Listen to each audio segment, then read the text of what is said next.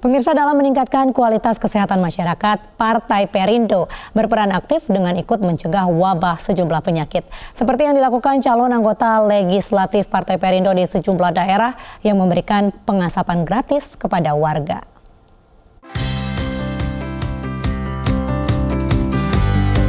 Kesehatan adalah salah satu faktor yang menentukan kualitas hidup seorang manusia. Dengan hidup sehat, maka setiap manusia bisa berpikir dan menjalankan aktivitas kehidupannya dengan baik.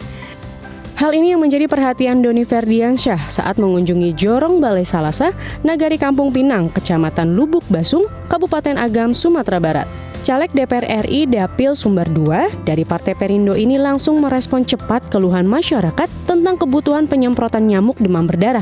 Doni memimpin langsung kader Partai Perindo yang melakukan fogging ke 150 rumah warga yang rentan menjadi tempat perkembangan jentik nyamuk Aedes aegypti. Memberikan uh, pelayanan kepada masyarakat dalam bentuk fogging dalam rangka mengantisipasi datangnya musim hujan sehingga uh, masyarakat bisa terhindar dari uh, jentik-jentik nyamuk yang dapat menyebabkan uh, demam berdarah.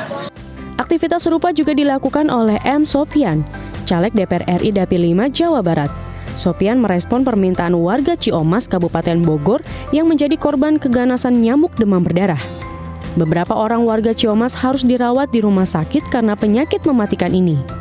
Pada dasarnya kegiatan ini adalah atas permintaan warga, permintaan RT setempat beserta RW karena memang pada bulan lalu ada kejadian yang sudah menimpa warga penyakit DBD.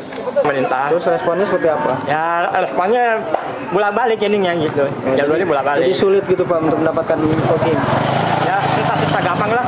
Susah gampang. Hmm. Berarti belum sempat di belum, sama belum, pemerintah setempat. Hmm, belum. Menyatu dengan masyarakat merupakan prinsip seluruh kader Partai Perindo. Bukan hanya sekedar mencari simpati warga, para kader rela berjuang tanpa pamrih untuk mewujudkan Indonesia sejahtera melalui beragam program partai yang pro rakyat. Tim Liputan iNews melaporkan.